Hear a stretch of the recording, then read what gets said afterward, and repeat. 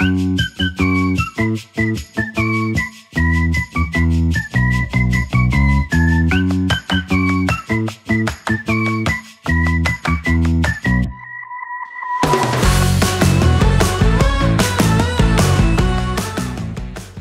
morning. Uh, here we are outside a very wet and soggy Sportlink this morning on Saturday morning.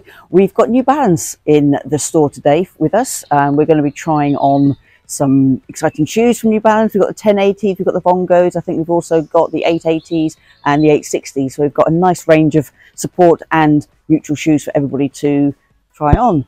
Um, hopefully, I'm getting wet. Hopefully, we're going to be able to go out for a run around our little 5k course and give the shoes a nice little road test. And then we'll be back to dry off and to get some coffee and some cake and talk about New Balance shoes with our lovely rep, Jack Wadsworth. So anyway, this is me signing off. I'm going to go back indoors now and get dry before we put our New Balance shoes on and go for a run. So see you later. Bye.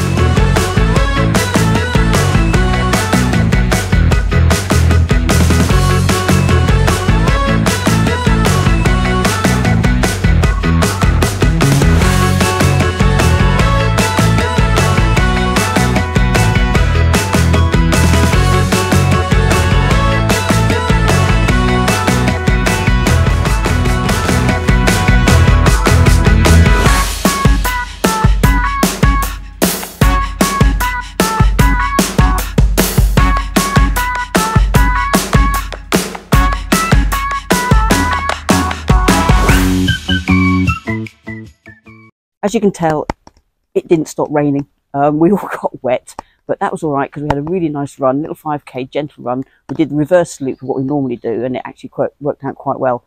I took the 1080s out. I've never actually taken them. I've run around the shop in them, but I've never actually taken them out kind of in anger and run in anger with them.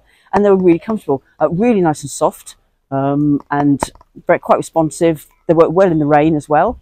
And I think I might even get myself a pair. So there we go. Um, again, as normal, I'm standing out in the rain.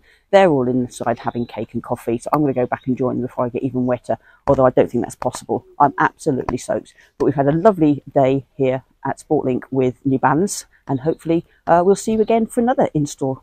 See you later. Bye.